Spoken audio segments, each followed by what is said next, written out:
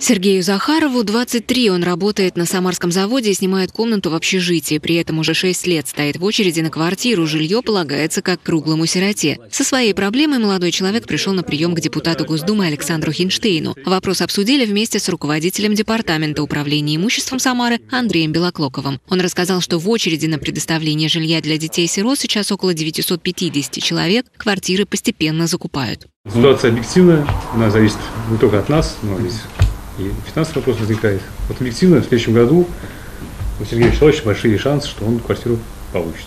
До этого момента Сергею не придется каждый месяц оплачивать съемное жилье, ему обеспечат место в общежитии недалеко от предприятия, где он работает.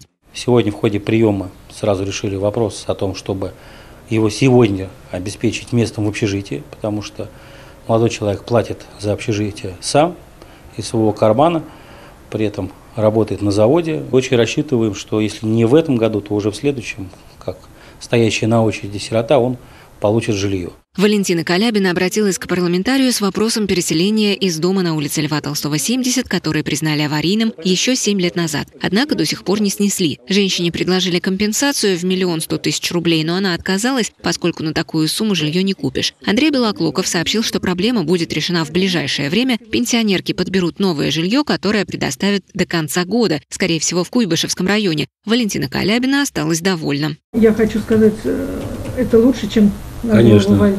Жителям Куйбышевского района, которые пожаловались на отсутствие должного благоустройства во дворах и отсутствие качественной питьевой воды, парламентарий рассказал, что в регионе строится новый водовод. Он обеспечит водой жителей Новокуйбышевска и Волгаря. Это новые микрорайоны, как любой новый микрорайон, конечно же, там есть свои болезни роста. С отсутствием должного благоустройства, с постоянным продолжением строительных работ. Мы обязательно эту ситуацию, то, о чем жители сегодня рассказали, обсудим с руководством и собственниками строительной компании. Людей еще интересовало, будет ли строительство новой школы. Мне кажется, что в этой части они ушли довольны, потому что строительство новой школы в Волгаре будет.